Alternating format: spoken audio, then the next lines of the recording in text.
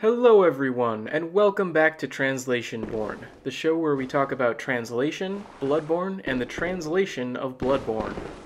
This time, we're going to start off right away with an item description that we picked up off the body of that hunter we defeated at the end of the last episode. Bone Marrow Ash, additional medium that strengthens Quicksilver bullets. According to the workshop, this is a special bone marrow ash collected from Hemwick Charnel Lane invaluable to hunters with weak blood tinge who require the use of stronger firearms. Now, there are a few things I'd like to note about this translation. So let's go ahead and read through it again, this time comparing a more literal version to the official one that's on screen. An additive catalyst that increases the power of mercury bullets. This is said to be a special bone marrow ash apparently produced in Graveyard Town Hemwick. Especially for hunters whose quality of blood is less than impressive, this is a valuable method of increasing the power of their shots. And really, if you set aside the issue of some game-related terms, there's only one thing that I'd want to discuss here. Namely that the official version has the phrase, according to the workshop, whereas the Japanese merely indicates outside information. It's understandable that the translators would want to specify a source for this information, and the workshop is a reasonable one, but the Japanese doesn't actually indicate that. I don't think this is too much of a leap to make, but it's especially interesting to me because up until this point we've seen a number of occasions in which the official version has been more vague than the Japanese, and this time it's less so. But anyway, the things that I really wanted to talk about here are the game-related terms that I mentioned before. The first of these we've actually seen before, it's the term for Quicksilver bullets. The characters used for the Japanese are on screen, and I'm going to break those down so that we can get a better idea for what makes up that term. The first two characters actually form a word in Japanese, suigin, which is mercury. That final character, dan or tama, in this case is used to refer to bullets. So quite literally, these are mercury bullets. Given the setting of Bloodborne, though, just calling them mercury bullets would probably come across as a little bit dull. The use of the term Quicksilver instead, I think, was an inspired choice, especially considering the connection with alchemy. Still, all things considered, that's a relatively straightforward change. The next term I'd like to discuss, on the other hand, involves a little bit more of a transformation. The Japanese in this case is actually something of a phrase, chinoseishitsu, and it translates more literally to quality or nature of blood. The official translation here is blood tinge. Crucially, this is one of the six main stats that you have in Bloodborne, the others being vitality, endurance, strength, skill, and arcane.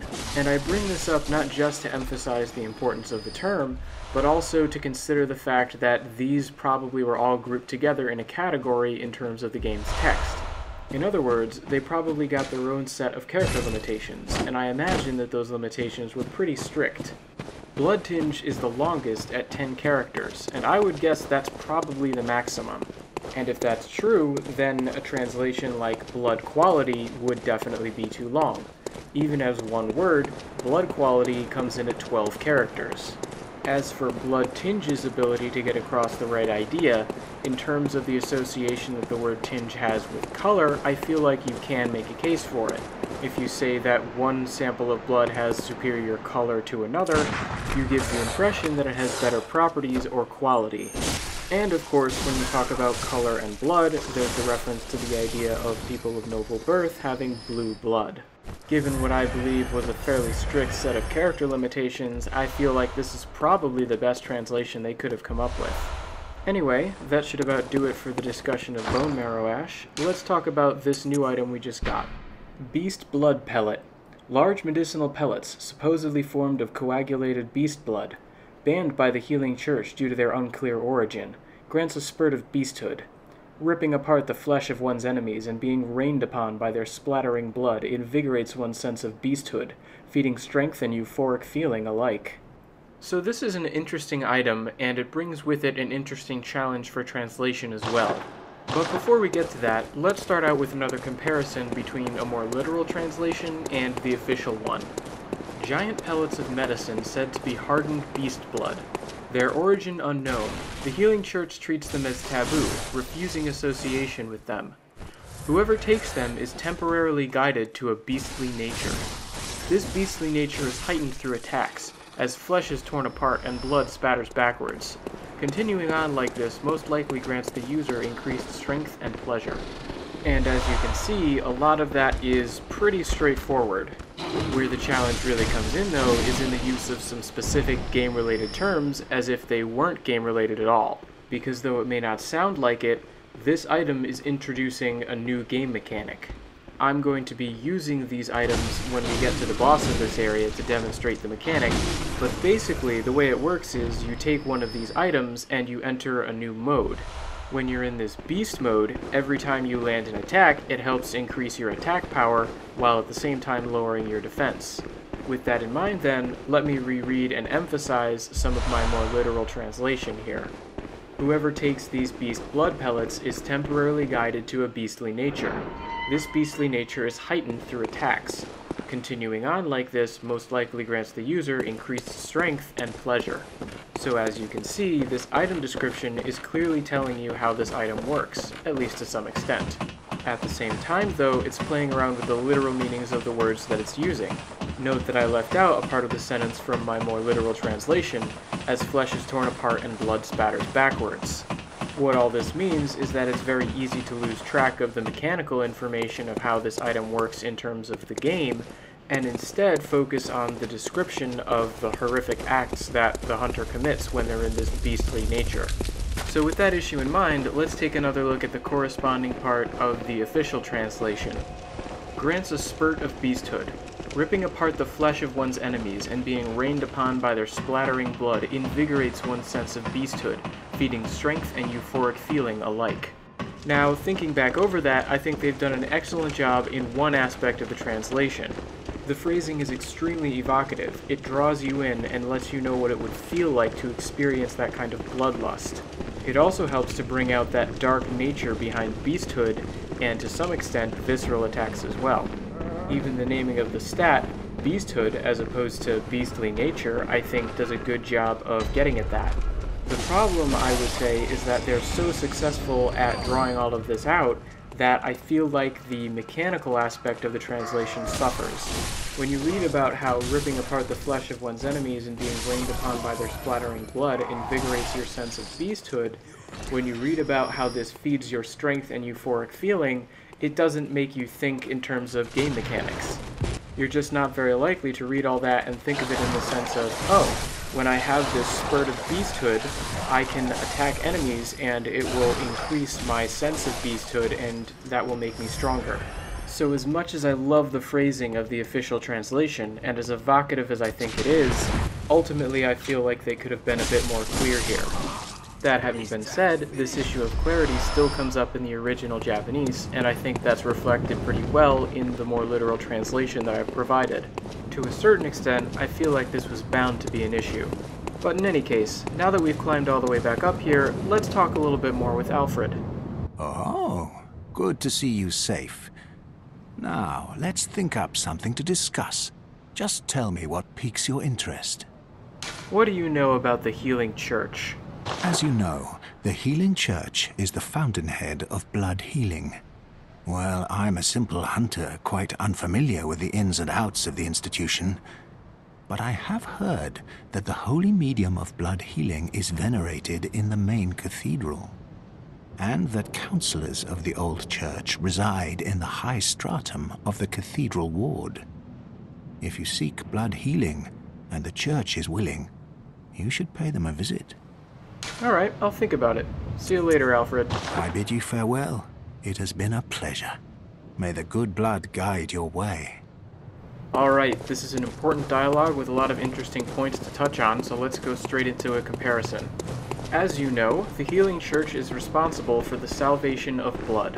While mere hunters, such as myself, are not very familiar with the internal workings of the Church, I have heard that the Holy Body, source of the salvation of blood, is enshrined in the Grand Cathedral. Also, the upper layers of the Cathedral Ward are where the leaders of the Old Church reside.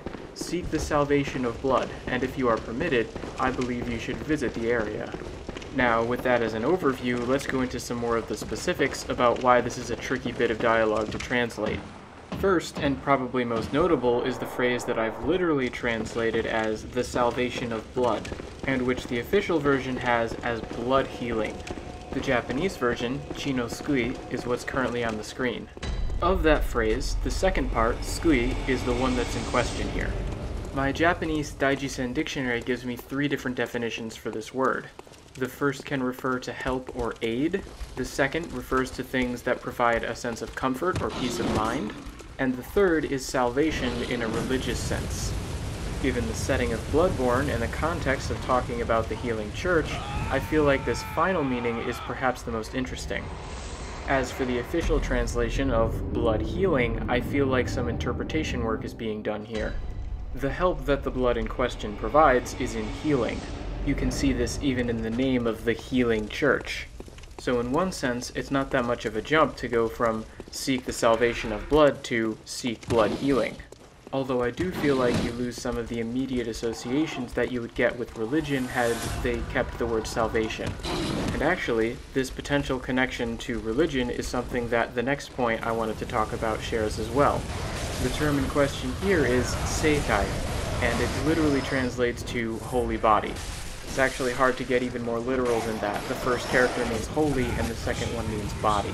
But anyway, the point that I wanted to bring up here was that this term has a very religious sense to it as well. Recall, for instance, that the term Seitai Hairyo is the Japanese word for communion. Literally, it's a phrase that means something like the humble reception of the holy body. So, in a Christian context, the word Seitai can be used to refer to the body of Christ. And in that light, I feel like the official translation of holy medium does a pretty good job here. The idea is that this is something holy, which acts as a source for and a means to transmit the blood that heals or saves others. On the other hand, there's a sense in which moving away from the actual term body obscures part of the meaning that I think is intended here. We'll have to come back and talk more about that point a little bit later, though. Instead, and actually on a somewhat related note, I'd like to talk about the term that's being translated as venerated. The original Japanese, which is currently being displayed on the screen, is matsuru. The tricky thing about this word is that it can mean both to worship and to enshrine. And here I think the use of the term venerate is about as good of a solution as there is. Because, at least in my own estimation, it's one of the few words that you can use that does kind of work in both situations you can venerate someone by putting up a statue to them or enshrining them, or you can venerate someone by actively worshiping or praising them. And I think the use of this term really helps to maintain the ambiguity of the original Japanese. Again, though, we're missing some of the information we need to fully discuss this topic, so we'll come back to this conversation later. This brings us to one last thing I thought was worth mentioning about this dialogue. At the end of Alfred's first line, he calls the church the fountainhead of blood healing. In Japanese, the term in question is ninaite, and in its more literal sense, it refers to someone who bears some kind of burden, oftentimes the burden of responsibility. The relevant definition in my Japanese dictionary is someone who supports and or advances something of central importance. And the reason I think the use of the word fountainhead here is so interesting is the way that it implies the healing church is the source of blood healing. There's a sense in which the two concepts overlap, and another sense in which I feel like they're a little bit different. Without the healing church, would there be no blood healing at all, or would there simply be less of it because it lost its primary support? Also, how much does Alfred really know about this, and is he hiding anything? In the end, I think that Fountainhead is a good translation here, but I'm fascinated by the difference. But now on to this lore note. The red moon hangs low, and beasts rule the streets. Are we left no other choice than to burn it all to cinders? Once again, there's a little bit more to the Japanese here. Let's do another comparison. The red moon is close, and this town is filled with beasts. There's no end to them. Is it too late to do anything? Is burning it all down our only option? As you can see, the literal Japanese is a little bit longer. But the real reason I wanted to point this out was to show that there's actually not a substantive difference between the two versions. The information that you get out of the Japanese is that there's a red moon, it seems to be nearby, the town is overrun with beasts, it's too late to try anything to save them, and regrettably, the only choice seems to be to burn down the entire town the information that you get out of the official English translation is exactly the same. I'm not sure how much of an influence character limitations had on this more concise version of the information in question, but I do think that this is well done. Especially since, even though it's shorter, I feel like the official version does a better job than the more literal one I just gave of making you feel the true regret inherent in the situation. And with that, we've reached the end of another episode. If you have any comments, questions, or suggestions, I'd love to hear them. Thanks for watching, everyone.